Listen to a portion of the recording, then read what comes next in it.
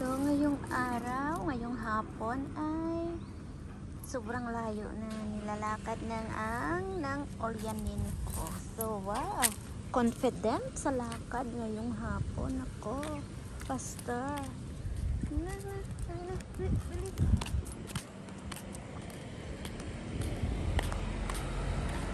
So, ito yung nakarating kami dito ng Olyanin. So, dito yung mga bahay. Ganyan yung mga bahay dito. So, mga magagandang bulaklak. Oh, si Ol- Olyanin, pagod na. Pagod na ang Olyanin. Ang sobrang layo na nilalakad namin. Kasi lagi lang sa bahay. Kailangan mag-exercise. So, kaya sa dahan-dahan sa paglalakad, nakarating kami dito. Mga magagandang bahay-bahay sa taas ng kalsada. Yan.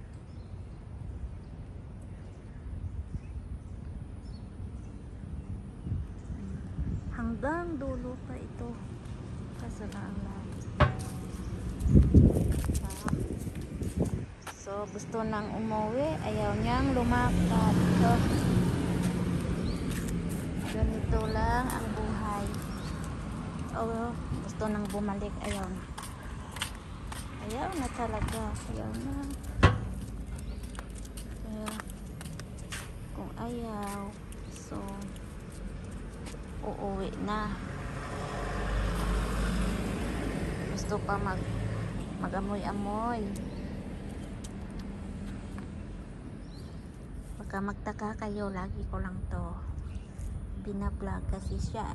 Yung youtube ko na ito sa kanya naman ito. Kasi noon nag nag ano yung tawag dyan? Nagka-virus siya. Tapos ginawan ko siya ng you- youtube channel. Kaya nagkagano na siya. So oh, ang bilis na maglakad umuwi. Diba? Confident sa paglalakad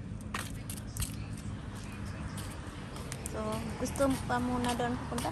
Sobrang layo na nilalakad namin. Oh, mga ibang ibang bahay na ito. Ay, punta tayo dito muna.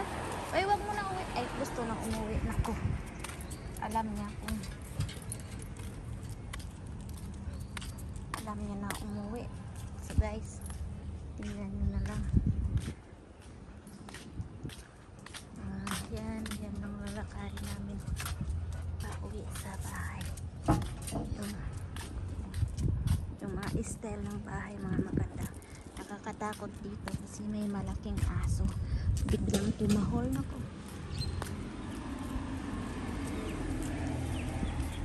so confident ang ulyanin ko sa paglalakad.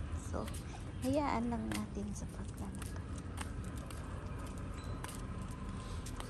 Dito may malaking aso. Pag tumahol sobrang lakas na. Magandang bulaklak.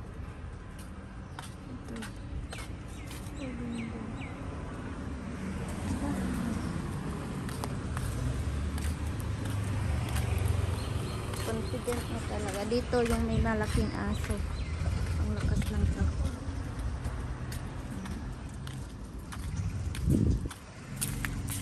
Oh, na nauuna na sa akin.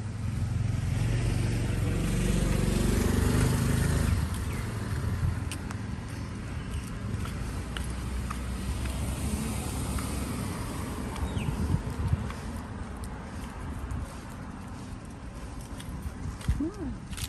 Ibon. Ay. May tumatakbong ibon. Saan napunta? Daming ibon. Pero confident lang yung ulyanin ko sa paglalakad. Ayaw na magpaawat. Gusto nang umuwi. Bahala kayo. Or wait lang muna, wait. Where's the road? Where's the road? Just wait.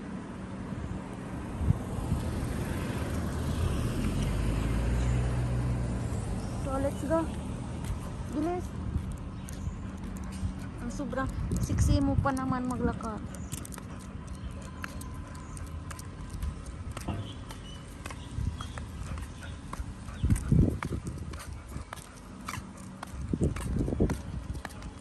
Yan. Yan naman.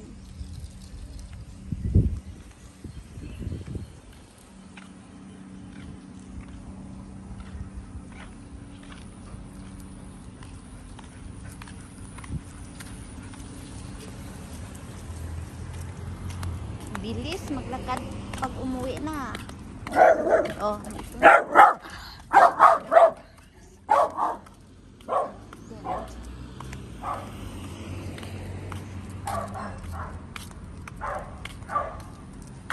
Nauuna pa sa akin kasi uupa rin sa magandang birthday. So, madaming bicycle kasi pag gusto mo mag-rent ng bicycle, iscan mo lang $1 yung bayad. Hmm. Nauuna na yung ulan.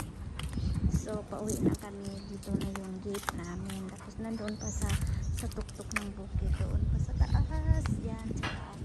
Yung kahoy. Yung bahay namin. So, wait, wait lang. Pero hanggang dito na lang kami.